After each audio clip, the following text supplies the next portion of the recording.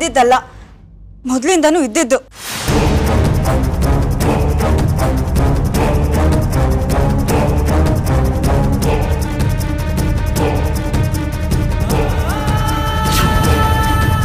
ಕೃಷ್ಣ ಏನ್ ಹೇಳ್ತಿದ್ಯಮ್ಮ ಮೊದಲಿಂದನೂ ನಾನು ನಿಮ್ಮನೆ ಸೊಸೆ ಆಗ್ಬಾರ್ದು ಅಂತ ಇವ್ರಿಗಿತ್ತು.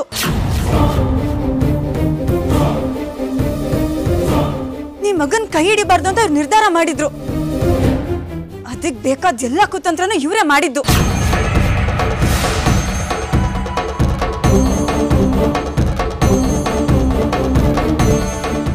ಅಷ್ಟೇ ಅಲ್ಲ, ಈ ಮನೆಗೆ ನಾನು ಪ್ರೀತಿಸಿದ್ದೀನಿ ಅಂತ ಹೇಳ್ಕೊಂಡು ಬಂದವನ್ನ ಇವರೇ ಕರ್ಸಿರ್ಬೇಕು.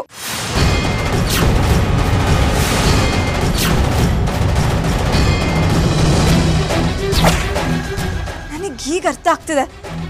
ನಾನು ಸೈಕಲ್ ರೇಸಲ್ಲಿ ಗೆಲ್ಬಾರ್ದು ಅಂತ ನಾನು ಬೀಳ್ಸಿ ನನ್ನ ಪ್ರಜ್ಞೆ ತಪ್ಪಾಗಿ ಮಾಡಿದ್ದು ಇವರೇ.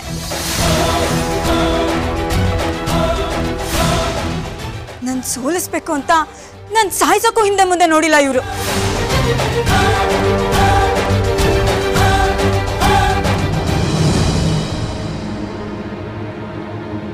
ಈ ಮನೆ ಮರ್ಯಾದೆ ಸದಾಕಾಲ ನಡಿಬೇಕು ಅನ್ನೋದನ್ನ ಮರೆತು ಈ ಮನೆ ಒಗ್ಗಟ್ಟನ್ನ ಹೊಡಿಯಕ್ ಹೊರಟಿದ್ದು ಇವ್ರೆ.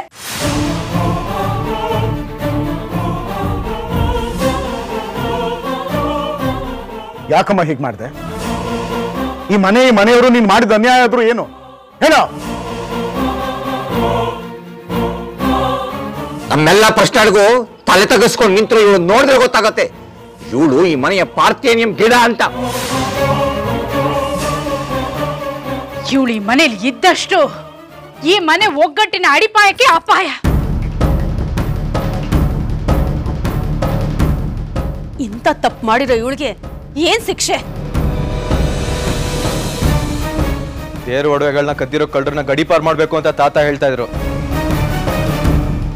ತಾತ ಏನ್ ಮಾಡ್ಬೇಕು ಅಂತ ನೀವೇ ಹೇಳಿ.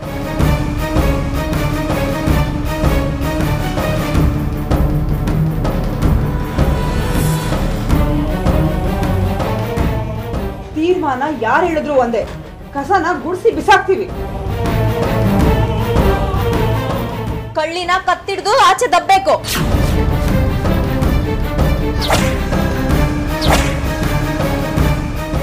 ತಾತ, ದಯವಿಟ್ಟು ನೀವು ಅವಕಾಶನ ನನಗೆ ಕೊಡಬೇಕು ಅಂತ ಬೇಡ್ಕೋತೀನಿ.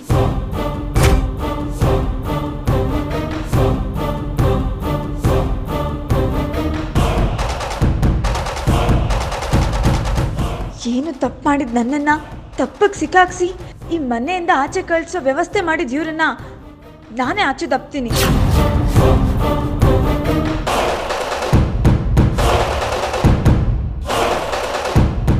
ಅದಕ್ಕೂ ಮುಂಚೆ ಇಂಥ ಹೆಂಡ್ತಿನ ಕಟ್ಕೊಂಡು ಇಷ್ಟು ದಿವಸ ಹೇಗಿದ್ದಕ್ಕೆ ನನಗೂ ಸಿಟ್ಟಿದೆ. ನನಗೊಂದು ಅವಕಾಶ ಮಾಡ್ಕೊಡಿಯಪ್ಪ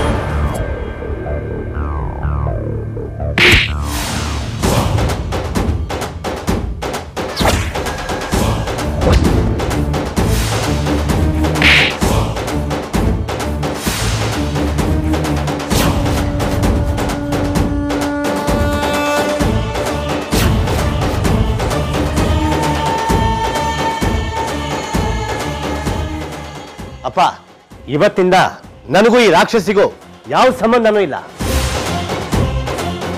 ಏನ್ ತೀರ್ಮಾನ ತಗೋತಿರೋ ತಗೊಳ್ಳಿ.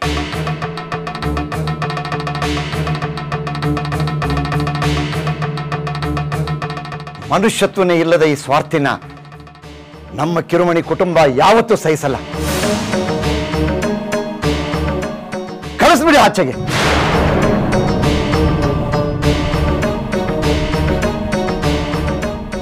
ಹೆಂಡತಿಗೆ ಈ ರೀತಿ ನರ್ಕ ತೋರಿಸಿದ ಈ ಹೆಂಗ್ಸು ಇನ್ನಿಲ್ಲಿ ಇರಬಾರ್ದು ನಮ್ಮನ್ನ ದೂರ ಮಾಡ್ಬೇಕು ಅಂದಿದ್ ಈ ಕೆಟ್ಟ ಮನ್ಸು ಈ ಮನೇಲಿ ಇರಬಾರ್ದು. ಇನ್ನಿಲ್ಲಿ ಇರಬಾರ್ದು ತಾತ. ನಿಜ. ಇರಬಾರ್ದು. ಈ ಮನೆ ಹಾಳು ಮಾಡೋದಕ್ಕೆ ನೀನು ಇದೆಯಾ ಅಂದಮೇಲೆ ಈ ಮನೆ ಉಳಿಸೋದಕ್ಕೆ ನಾನಿದ್ದೀನಿ. ನಿನ್ನಂತ ಮುಳ್ಳು ಈ ಮನೇಲಿ ಇರಬಾರ್ದು.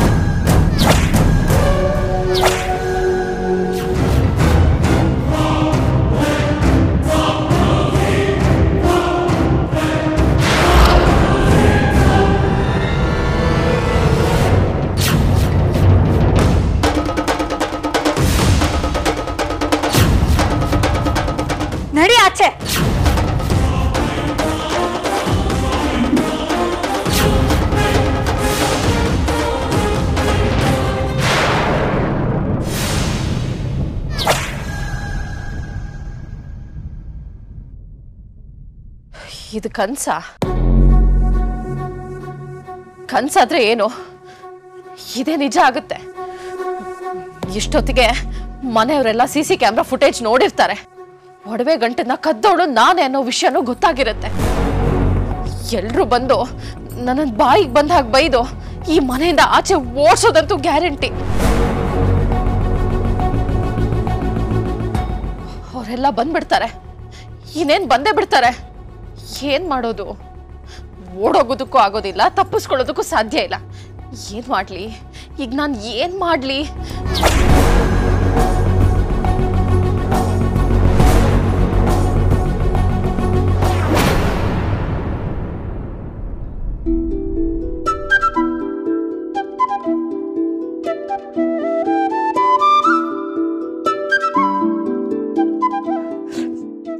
ಸಿಕ್ಕಾಕೊಡ್ಲು.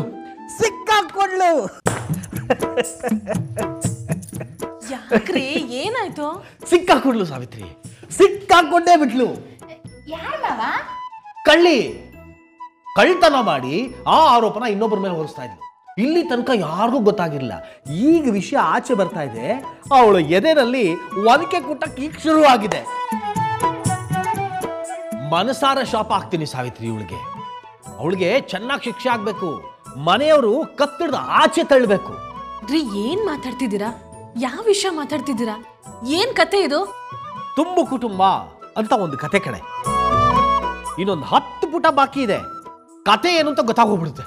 ನಿಮಗೆ ಕಾದಂಬರಿ ಓದೋ ಅಭ್ಯಾಸ ಯಾವಾಗಿಂದ ಶುರುವಾಯ್ತು? ನಾನು ಪುಸ್ತಕ ತಂದ್ಕೊಟ್ಟಾಗಿಂದ. ನೀನ್ ಯಾಕೆ ತಂದ್ಕೊಟ್ಟೆ? ನಮ್ ಕೃಷ್ಣ ಹೋಗಿರೋದು ತುಂಬಿದ ಮನೆಗೆ. ತುಂಬಿದ ಮನೆ ಹೇಗಿರುತ್ತೆ ಅಂತ ನಾನು ಸರಿಯಾಗಿ ತಿಳ್ಕೊಬೇಕು ಅಂದ್ರು ಅದಕ್ಕೆ ತಂದ್ಕೊಟ್ಟೆ. ರೀ ತಿಳ್ಕೊಳ್ಳಿ ಬೇಡ ಅಂತ ಹೇಳಲ್ಲ. ಆದ್ರೆ ಯಾರೋ ಮಾಡಿದ ತಪ್ಪನ್ನ ಇನ್ನೊಬ್ರ ಮೇಲೆ ಹಾಕಿ ಒಬ್ರ ಮೇಲೆ ಒಬ್ರು ಕತ್ತಿ ಮಸಿಯೋ ಮನೆಗೆ ನನ್ನ ಮಗಳು ಸೊಸೆಯಾಗಿ ಹೋಗಿಲ್ಲ ಅದನ್ನ ತಲೆಯಲ್ಲಿ ಇಟ್ಕೊಳ್ಳಿ. ಕತೆಗಳನ್ನ ಕುತೂಹಲ ಹುಟ್ಸೋದಕ್ಕೆ ಬರ್ದಿರ್ತಾರೆ. ಅದೇ ತರ ನಮ್ಮ ಜೀವನದಲ್ಲೂ ಆಗುತ್ತೆ ಅಂತ ನಮ್ಮ ನೆಮ್ಮದಿನ ಹಾಳು ಮಾಡ್ಕೋಬಾರ್ದು. ಕೊಡಿಲಿ ಅಯ್ಯೋ ಇನ್ನೊಂದು ಹತ್ತು ಪುಟ ಉಳಿದಿದೆ. ಮುಂದೆ ಕತೆ ಏನಾಗುತ್ತೆ ಅಂತ ಓದ್ಕೊಟ್ಬಿದ್ದೀನಿ ಕೊಡೆ. ಇದ್ರಲ್ಲಿ ಏನ್ ಬೇಕಾದ್ರೂ ಆಗ್ಲಿ. ನಮ್ಮ ಮಗಳ ಜೀವನದಲ್ಲಿ ಎಲ್ಲ ಒಳ್ಳೇದಾಗುತ್ತೆ ಅನ್ನೋ ವಿಶ್ವಾಸ ನಮ್ಗಿದೆಯಲ್ಲ ಅದು ನಮ್ಮನ್ನು ಕಾಪಾಡತ್ತೆ ಅಷ್ಟು ಸಾಕು. ಕತೆ ಅಯ್ಯೋ ಅವಳಿಗೆ ಏನ್ ಶಿಕ್ಷೆ ಆಗುತ್ತೆ ಅಂತ ನಮ್ಗೆ ಗೊತ್ತಾಗಬೇಕು ಕಣೆ. ಸಾವಿತ್ರಿ!